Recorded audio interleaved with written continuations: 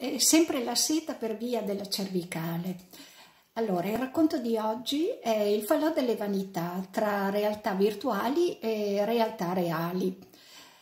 Eh, leggo sul Corriere che la Antonella Clerici odia le persone vanitose ed è curioso che sia detto proprio da lei, la quale eh, è sempre sui giornali, su, sui giornali patinati, sulle copertine, a raccontarsi e farsi, farsi bella del, dei suoi amori, eh, del, suo, del suo marito, del suo ricco nuovo futuro marito, eh, della sua casa nel bosco, insomma è sempre lì a, a raccontarsi, a mettersi in bella vista, in bella mostra a dire a tutti gola gola, guarda, guardate io come sono fortunata. Insomma, eh, questo per dire che no, dire la vanità, la parola vanità è una parola molto soggettiva.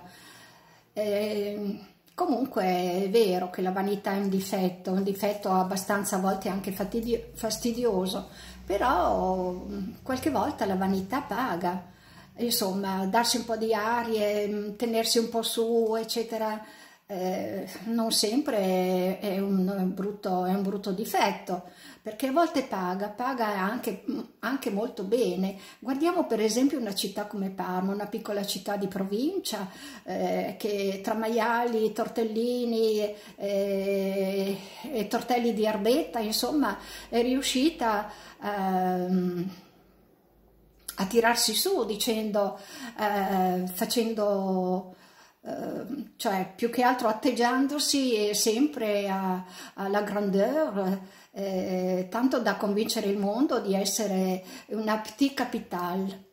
Insomma, ha convinto tutti con, la, con, sue, con, queste sue arie, questa sua vanità, eh, perché i parmigiani poi sono anche noti di essere molto, come si dice, grandeur, fanno di essere più grandi di quanto siano poi in realtà. E infatti hanno convinto tutti, hanno convinto il mondo, il mondo intero, persino a due come Draghi e Mattarella, che ultimamente sono passati da Parma eh, a omaggiare questa, questa piccola città, proprio loro che sono due che non si lasciano incantare da nessuno. Parma c'è riuscita.